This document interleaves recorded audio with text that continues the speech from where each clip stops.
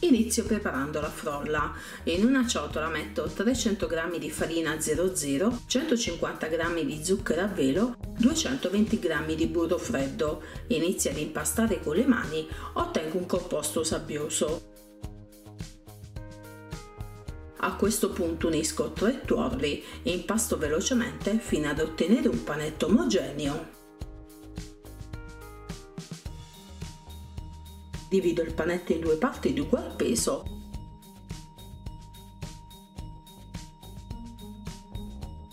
Nel primo pezzo unisco la buccia grattugiata di un limone e 25 g di fumina.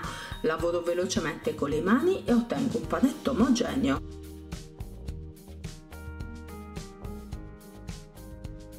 Avvolgo nella pellicola da cucina, lascio riposare in frigo per un'ora. Nel secondo pezzo di impasto unisco 25 g di cacao in polvere e un cucchiaino estratto vaniglia.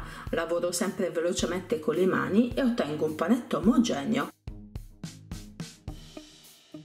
Avvolgo nella pellicola da cucina e lascio riposare in frigo per un'ora.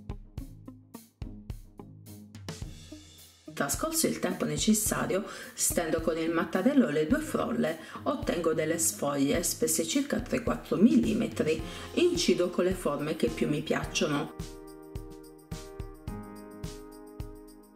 Passi danesi prima nello zucchero simulato solo da una parte, dispongo sulla teglia da forno coperta con carta forno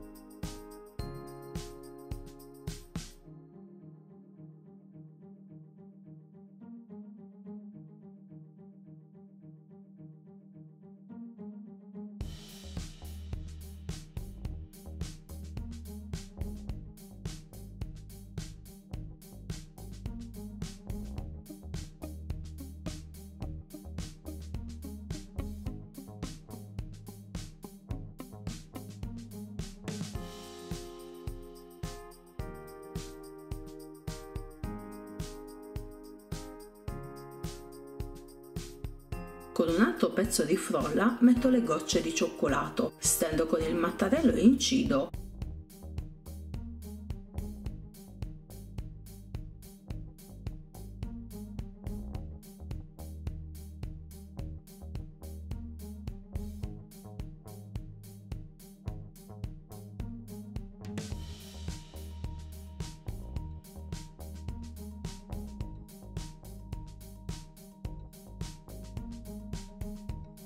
Con l'aiuto dello stencil ricalco la frolla, ottengo delle decorazioni molto particolari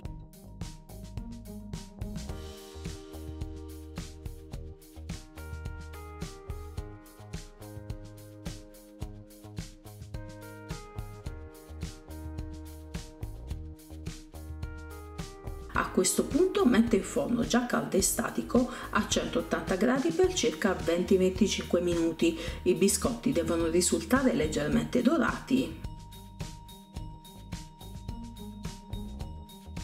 E ora procedo con la decorazione, naturalmente spazia la fantasia.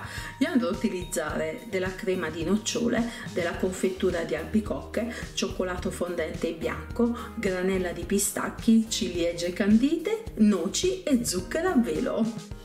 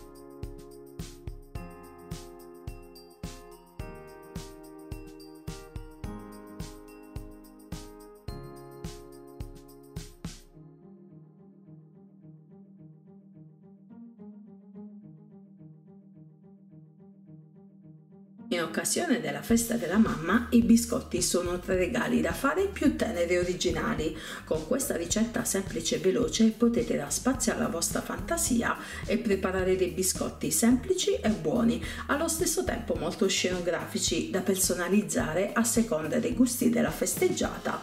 Naturalmente provateli e fatemi sapere. Miei cari amici un abbraccio e noi ci vediamo prestissimo. Ciao a tutti!